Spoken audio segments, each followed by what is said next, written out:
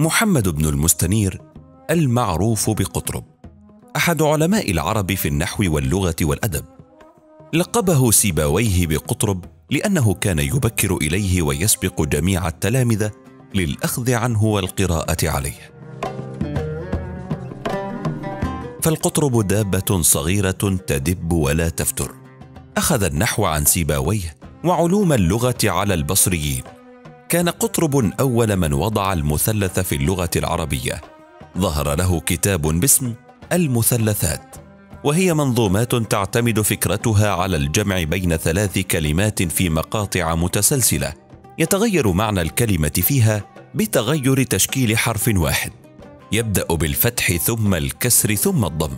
ألف قطرب مثلثاته نثرا ثم شعرا وجاء بعده ابن زريق الذي رتبها في منظومة سماها مثلثات قطرب. ضمنها شرح المفردات.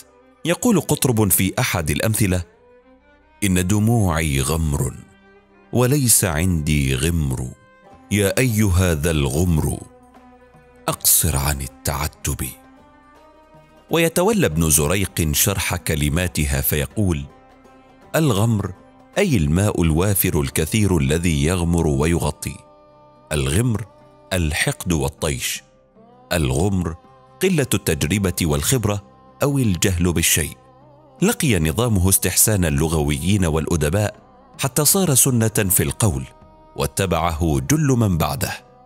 توفي قطرب في بغداد سنة 206 من الهجرة خلال خلافة المأمون تاركا للمكتبة العربية مجموعة من المصنفات المتنوعة في اللغة والنحو والعروض. أهمها كتابه المثلثات والرد على الملحدين في متشابه القرآن.